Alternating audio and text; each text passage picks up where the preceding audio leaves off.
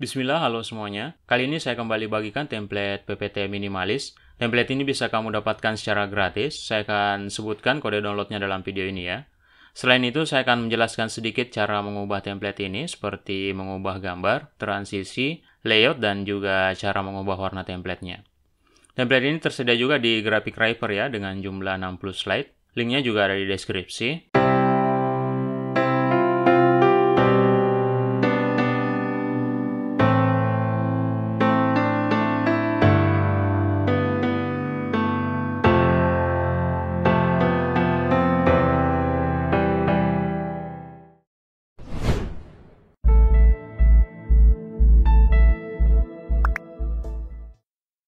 Oke guys, saya mulai. Pertama saya akan perlihatkan cara mengubah gambar pada template ini. Di slide pertama ini terdapat background gambar ya. Masuk di format background untuk mengganti gambarnya. Klik kanan, lalu format background. Klik insert di sini. Lalu pilih sumber gambarnya. Teman-teman bisa klik dua kali aja ya pada gambarnya untuk memilih. Oke, seperti itu ya jika mengganti background gambar. Kemudian di slide ini bukan background ya, tapi placeholder gambar. Cara pertama untuk menggantinya adalah dengan klik kanan pada gambarnya, change picture. Saya akan pilih dari komputer saya ya. Teman-teman bisa pilih sumber gambar yang lain di bawah sini. Oke, pilih gambarnya seperti tadi. Klik dua kali aja ya untuk memilih. Setelah terganti, teman-teman bisa sesuaikan gambarnya dengan area placeholder. Masuk di picture format, klik crop tool di sini lalu geser gambarnya ke area yang diinginkan. Seperti ini ya. Kemudian cara kedua, teman-teman bisa langsung menghapus gambarnya, klik pada gambarnya, lalu tekan delete pada keyboard.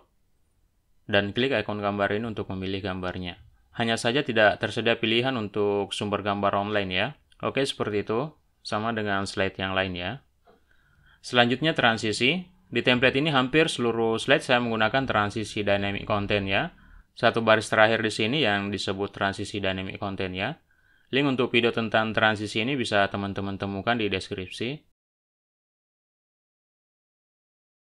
Kemudian untuk layout, di sini terdapat 10 custom layout yang bisa teman-teman gunakan ya untuk membuat slide baru. Saya akan perlihatkan ya cara mengubah layout-layout ini. Jadi untuk mengubah layoutnya, teman-teman masuk di slide master, masuk di menu view, lalu slide master.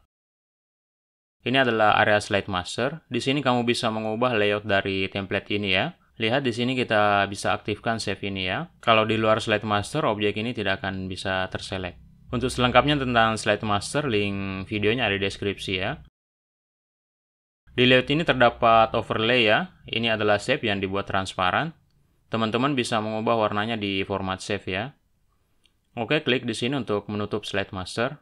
Atau bisa juga langsung klik ikon normal view di bawah sini ya. Template ini juga dilengkapi dengan slide number di sini ya. Jika misalkan teman-teman tidak ingin ada slide number di sini, teman-teman bisa menghilangkannya ya. Untuk itu kita juga perlu menyesuaikan sedikit ya di slide master. Masuk di slide master. Pergi ke master slide.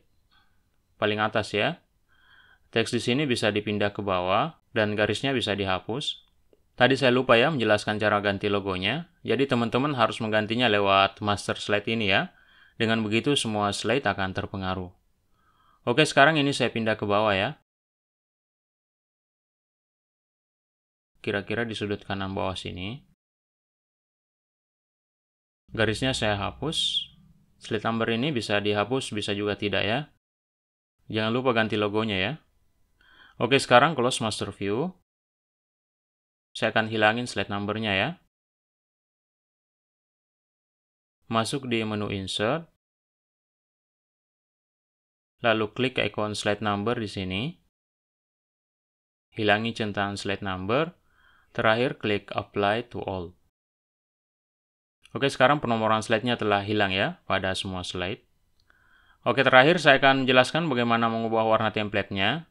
Sebelum itu saya akan sebutkan kode download-nya ya. Silahkan dicatat. Kode download untuk template ini adalah PPT210280. Link untuk halaman download ada di deskripsi ya. Begitu pula dengan panduan teknis cara downloadnya. Baik, saya lanjut. Masuk di menu desain. Klik tanda panah di sini. Pilih colors.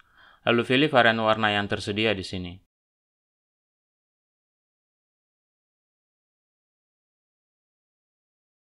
Sekarang semua warna telah berubah ya, mengikuti varian warna yang dipilih. Jika tidak ada warna yang cocok di sana, teman-teman bisa menambahkan warnanya ya.